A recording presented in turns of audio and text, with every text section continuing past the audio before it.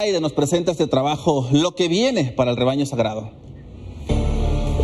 Chivas busca entrenador, pero más que eso, un proyecto a largo plazo que dé resultados, lo que hasta ahora no ha encontrado. Desde el 2002 que la familia Vergara adquirió al Guadalajara, han pasado 26 entrenadores y solo José Manuel de la Torre y Matías Almeida pudieron lograr el título de liga. De esos 26, cuatro técnicos han sido cesados desde que Amauri Vergara tomó el control.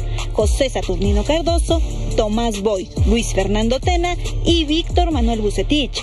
Este último estuvo 13 meses al frente y dirigió 43 partidos, de los cuales ganó 16, empató 16 y perdió 11.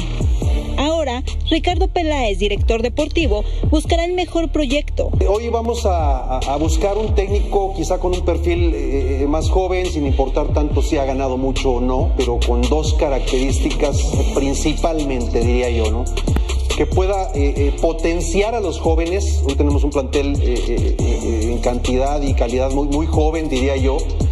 Y un segundo punto, que su forma de juego apueste mucho más por la dinámica, quizá por la velocidad, por la explosividad y, que podamos, eh, que estos elementos nos den un poquito más de, de, eh, un mejor funcionamiento ¿no? dentro de la cancha. Las opciones son Antonio Mohamed, quien ha sido tres veces campeón de liga con Tijuana, América y Monterrey, además de que obtuvo dos veces la Copa MX con Rayados, y también está Diego Alonso, quien fue campeón con el Pachuca, quedó en el tercer lugar del Mundial de Clubes y obtuvo la famosa Conca Champions con los Tuzos y luego con Rayados. Aparece también también Jaime Lozano, quien ya obtuvo una Supercopa con Querétaro y claro, el bronce de los Juegos Olímpicos de Tokio. Y por último, Michel Leaño, quien será interino pero podría terminar el torneo.